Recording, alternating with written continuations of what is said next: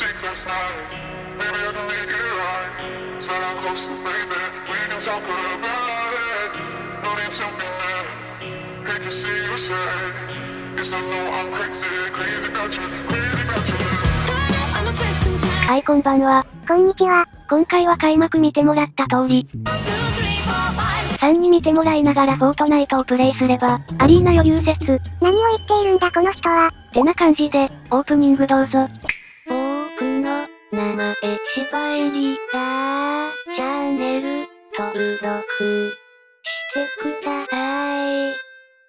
それじゃあ、3に見てもらいながらフォートナイトをやっていくぜ。見てもらうも何もただの、スタンドキーホルダーじゃん。ふ、それはどうかな。それじゃあ、3もう喋っていいですよ。はーい、こんにちは、フォートナイト考察の、です。違うだろ。そしていい加減怒られろ。深く反省してます。ていうかこんな茶番してないで実況しましょ。お前が言うな。じゃ、タイトルにゆっくり実況って書いてあるので実況しますね。ていうか誰ですか？タイトルにゆっくり実況って書いた人。あなたです。あ、僕か。とりあえずこの魚を倒そうっと。危なかった。おお当たったわ。ナイスまぐれ。もう一回当てて倒しきりたかったけど、敵さんボックスにこもっちゃった。あらら。だから代わりにあそこで戦ってる敵さんを狙おっと。よーく狙って。なんか倒せたわ。この塔に登ってきてる敵さんがいるので角待ち中。ナイス角待ちショットガン。そこそこいいダメージを与えれたのであとはゴリ押しで。オラオラオラオラ、建築するのやめな。倒しきれませんでしたね。しかも敵さんしっかり反撃してきましたよ。瀕死の状況で反撃できる人は上手い人。でも足場を崩しておしまいじゃい。やりー。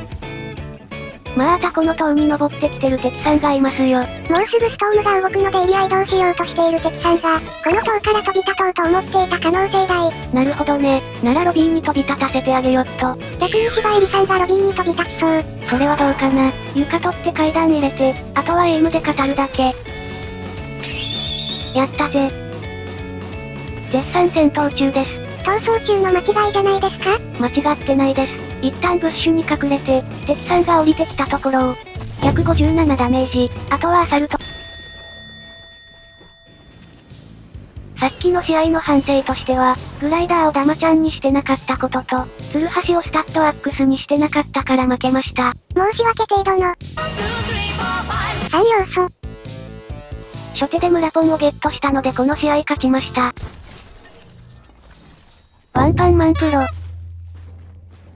ってきさんだ。ここはボックスを作ったと見せかけて、実はボックスの中にはいないですよショット。うまく敵さんを騙せましたね。1ヶ月ぐらい前にこの技クララさんが紹介してたからやってみたけど、めっちゃ綺麗に決まったわ。やってみるもんですね。やってみるもんです。そして敵さんの体力を激浪にしたので、脳死でゴリをしてたら、逆にやられそうになりました。残り体力7。どうしてこうなったし、オラくらえ。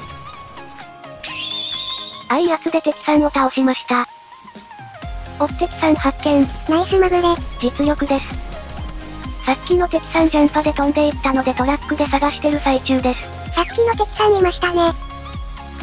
張り替えチャンス、そしてショットガン。56ダメージ。今度は壁を張り替える。どんどん張り替えていきましょう。やっぱり床を張り替えよっと。張り替えれたからあとはボックスに入り込めば。